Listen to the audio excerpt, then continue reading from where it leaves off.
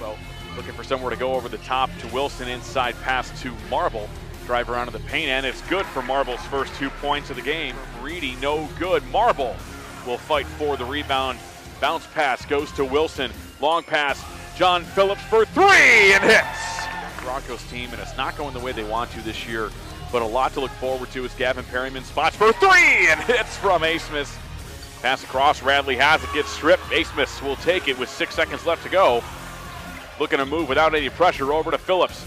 Phillips drives baseline. Pop at the buzzer is good. Hollerick driving in. Asmus right post. Running jumper in the lane by Perryman is good, and it's picked up by Julius Marble.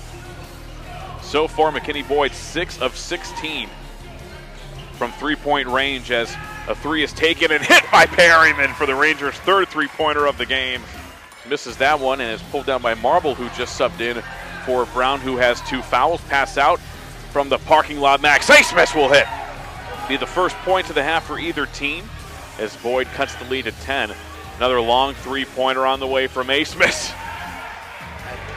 They are really shooting the ball. I don't They're, know. they're, they're say. shooting exceptionally well. And Asmus once again another deep ball from three.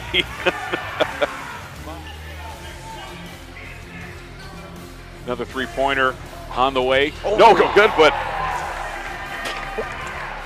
there's Julius Marble with a, an absolute monster so far on the boards with Julius Marble out of the game.